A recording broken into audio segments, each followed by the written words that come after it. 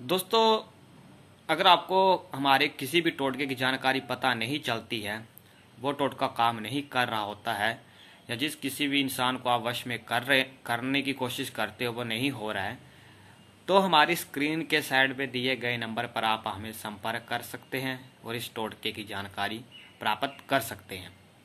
Simple सा टोटका लेकर आता हूँ दोस्तों। अगर आपको लगता है कि असर नहीं हो रहा है तो आप हमें संपर्क करें और जानकारी ले सकते हैं। जैसे अभी मैंने आपके सामने ये तीन मिर्ची रखी है और पानी रखा है।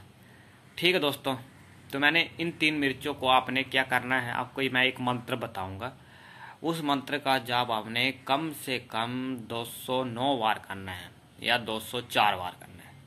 204 या 209 के बीच में अगर आपने ये मंत्र का जाप कर दिया तो आपका रूठा हुआ प्यार, भाभी, पड़ोसन, जो कोई भी हो जो आपको छोड़ के गया हो, या कोई आपके घर के आसपास रहता हो, या आपने उसका वशीकरण करना हो तो आपने ये टोटका करना है।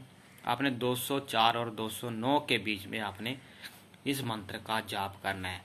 जब आप मंत्र का जाप कर रहे होंगे तो लास्ट के समय आपने क्या करना है पानी लेना है और ऐसे स्वाहा। ठीक है दोस्तों, आपने इस मंत्र का जाप करना है। जो कोई भी होगा, वश में हो जाएगा। और आपने इन तीन मिर्चों को लेना है और उनको कहीं आपने किसी शमशान जगह पे पेड़ के नीचे आपने गाड़ के चले आना है, आपका ये टोटका पूरा हो जाएगा। धन्यवाद, जय माता दी।